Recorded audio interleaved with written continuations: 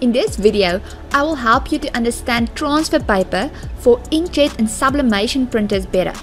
There are so many options out there and we know exactly how confusing it can be. Questions like these are normally being asked. Which paper will give me the best result? Which paper do I use? When do I use it? Why do I need to use it? On what do I use it? Some papers you use for cotton, others for polyester, then some for dark fabric and others for light fabric. After this video, everything will make more sense and you will then know when to use what and it's not as bad as it seems. Let's start with sublimation paper. What is sublimation and what is the process? So sublimation ink is a special ink that binds with synthetic fabric such as polyester, lycra, minimat, nylon, spandex, and so forth. Usually, any good fabric supplier will be able to point out to you which material is synthetic and which is natural fabric. It is also used on products that are polymer or polyester coated and that can withstand heat from 160 degrees Celsius and higher in a heat press as the sublimation process starts at 160 degrees Celsius. And it is only the ink that transfers directly to the coating or the shirt and has no glue layer like other transfer papers. So sublimation paper do not have a glue layer. So the next question is what is the quality of a sublimation print? So sublimation is a permanent print and will never fade or wash out. It prints beautifully and gives amazing photo quality. And with a sublimation print, you can't feel the print on the product as it becomes part of the fabric or the coating. And when you do a sublimation print on a polyester t-shirt for example, you can't feel the print on the t-shirt and it never washes out.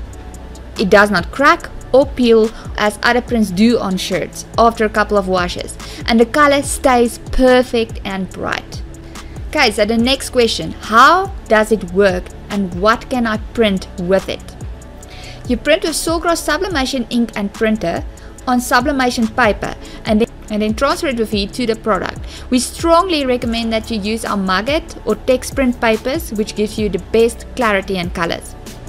Sublimation is for products such as ceramic mugs, glass products, tiles, hardboard products, bamboo products, mousepad material, metal, sublimer products, and white polyester shirts or polyester fabric and more.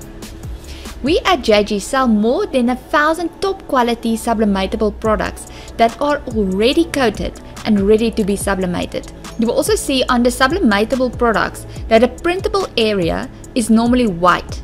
That is because you can only sublimate on white or very light products. Because as the sublimation printers does not have white ink, and then your product's color will then shine through the print. For example, if you print a white or a light dark picture on a red t-shirt, the dark will become red. All the light areas of the dark will become red and only the very dark colors such as the black nose will stay its original color. Okay, so the next question. Why can you only sublimate on white or very light substrates? So sublimation works like a dye. I'm going to use normal hair dye as an example. You can always dye blonde or white hair black very easily. But if your hair is black and you want to dye it a lighter color, for example blonde or white, you can't do it because your hair will stay black even if you dye it multiple times. You first need to strip all the black out of the hair and then dye it blonde. Another example is if you take a yellow or a lighter color marker pen and want to draw on a black cardboard. You won't be able to see the yellow as the black color of the cardboard is stronger. This is exactly how sublimation works. You need to have a white or a light base color to be able to see the print that gets dyed into the polyester coating or fabric. That is why the printable area on the products should be white or very light for perfect color sublimation images. What paper do I use for sublimation? So the sublimation paper is the Subtex Pro 105 grams or the 120 grams and we also have a Maggott sublimation paper. I want you all to take note of this to help you understand the other papers better as well when I will be explaining them.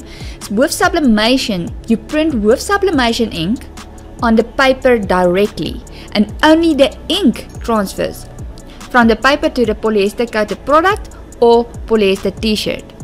It dyes into the polyester. Okay, so you might be thinking, why three different types of sublimation paper? 105 gram paper is thinner and transfers a brighter, crisper image on a product. But it does not work well if you want to do a large volume of prints at a time. The ink does take a few seconds to dry and if you print multiple prints directly one after the other it might start curling as it comes out of the printer and starts jamming the printer or the ink can smear on the pages. So if you want to print one or two sheets then this is the best paper for quality. This is the paper I use the most. This paper is also the best for sublimer products. The 120 grams paper is thicker and absorbs ink deeper into the paper, so it is immediately dry when it comes out of the printer. So it will work well for larger volumes of prints, although it does not print as bright as the 105 grams. You may press your product a few seconds longer to get a better print. Okay, now the Mugget brand paper. The Maggott brand paper is an Econo paper that is more affordable but not the quality of the Subtex Pro paper. But test the three types of paper and decide which one you like the most. This info is all based on our experience with it. Okay, that's for the sublimation paper. Now we're going to move on to light and dark cotton t-shirts. So the first one will be the white cotton t-shirts. Why can't I sublimate on white cotton shirts or natural fabric using sublimation paper and sublimation ink? That's because there is no polyester in these fabrics. Sublimation paper with sublimation ink will not transfer to it. It will stain a very light print on the cotton and after the first wash, the light print will basically be gone. That's because the ink tries to go directly onto the cotton and it doesn't have any polyester coating to stick to. So what do I use for light cotton shirts and can I feel the print after it is printed? You will use Jettrons S or Jettrons B paper. This is a paper that is coated or layered with a clear polyester glue and on the glue side you will print. So the glue with the print will transfer and stick to the cotton shirt and not the ink alone like with sublimation. So you can print on this paper with a normal inkjet printer ink or with a sublimation ink and then transfer it to the t-shirt. But why do I say sublimation ink now after I said the sublimation will wash out? So the sublimation ink or the normal inkjet ink prints into the special glue coating on the paper and this glue coating then transfers and sticks to your cotton shirt. So yes, you will be able to feel the print on the shirt. It has a slightly raw feel to it, but it is not very hard and not uncomfortable. Next question, are the Jettrons S and B a permanent print like sublimation is? The answer is unfortunately no. Even though you printed with sublimation ink on the Jettrons S paper, the print only lasts as long as the glue it was printed to on the shirt. We tested the washability on this print and it lasts longer than 15 washes. Round about 15 to 20 washes, about 30% of your print will remain. So it is still a very good print, but just not permanent. Okay, so the next paper we're gonna do is the paper for dark cotton shirts. So what do I use for dark cotton shirts and how does it work? You will use multi-opaque paper for dark fabric. The multi-opaque has two layers. The front part you will print and the back part will be thrown away at the end. The front layer is a soft white layer which will be transferred to the t-shirts once you have printed it. The soft white layer is a polyester layer, so you can print it with sublimation ink or with any other normal inkjet printer. You can cut your printed design on this multi-opaque paper with a vinyl cutter or scissors. So why can I use Jetron's S only for light cotton but not for dark cotton as well? It's basically the same reason why you can't do sublimation on dark products. You will not be able to see the print.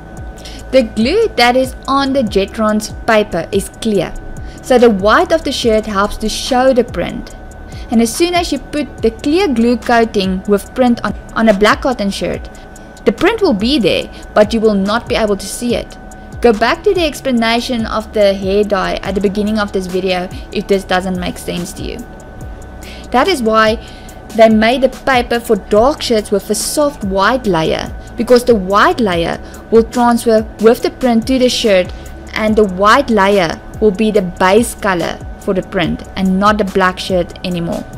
So now you will be able to see the print. So the next question, can I feel the print on the shirt and what is the washability? Yes, you will feel the print. It is more solid and harder than the Jetrons S. It's not as breathable as Jetrons S or sublimation on a shirt. And the washability on the print is also good. It also lasts about plus minus 15 washes before it starts cracking but will gradually fade as you wash it. Thanks for watching this video and I hope this video really helped you understanding the paper for t-shirts better.